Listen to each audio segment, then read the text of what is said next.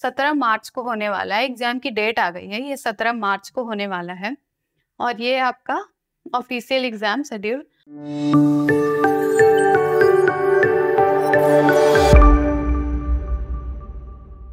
Hello everyone, मेरा नाम काजल है और आज हम बात करेंगे यूपी यूपीपीएससी के बारे में मतलब Uttar Pradesh public service commission. ये उत्तर प्रदेश में पीसीएस के एग्ज़ाम कंडक्ट करवाती है उन कैंडिडेट्स के लिए जो पीसीएस में इंटरेस्टेड हैं, उनके क्वालिफिकेशन और मेरिट के अकॉर्डिंग उनके सिलेक्शन की जाती है सिविल सर्विसेज़ के लिए। अब हम बात करते हैं इसके एग्ज़ाम्स के बारे में। अगर आप एग्ज़ाम दे रहे हो तो आप कौन कौन से आपके एग्ज़ाम होंगे एग्ज़ाम की क्या क्या स्टेजेस हैं?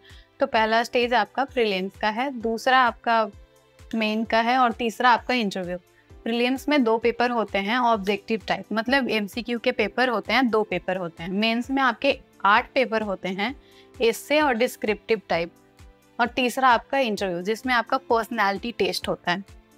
अब हम बात करते हैं यूपीएससी एग्ज़ाम 2024 के बारे में। तो ये एग्ज़ाम आपका 17 मार्च को होने वाला है। एग्ज़ाम की डेट आ गई है। ये 17 मार्च को होने वाला है। और ये आपका ऑफिशियल एग्ज़ाम शेड्यूल यूपीपीएससी की वेबसाइट पे आपको इसके सारे डेट्स मिल जाएँगे। अब हम बात करते हैं इनकी वैकेंसीज के बारे में। इसकी वैकेंसी 220 वैकेंसी है जिसमें आपको 220 सीटें मिल जाती हैं। ये एग्ज़ाम में आपके जितने भी सीट होंगे उसमें 220 वैकेंसी है।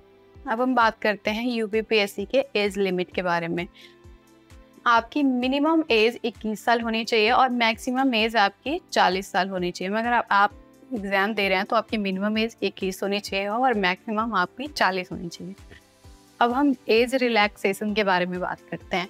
एज रिलैक्सेशन मतलब अगर आप एस में हो तो मान लो आपकी एज 40 है तो आपको पाँच साल का रिलैक्सेशन मिलता है मतलब चालीस है तो आपको पाँच साल का मिला मतलब आप पैंतालीस साल तक, पैंतालीस साल की उम्र तक आप ये एग्ज़ाम दे सकते हैं। अगर आप एस एस में हो तो आपको पाँच साल की मिलती है। अगर ओ बी सी में हो तो आपको पाँच साल की। अगर आप UP including state government employ हो तो आपको पाँच साल की मिलती है। अगर आप पी डब्ल्यू डी हो तो आपको पंद्रह साल की मिलती है और ये बाकी के जो सर्विसेज़ वाले हैं उनको भी पाँच साल की मिलती है।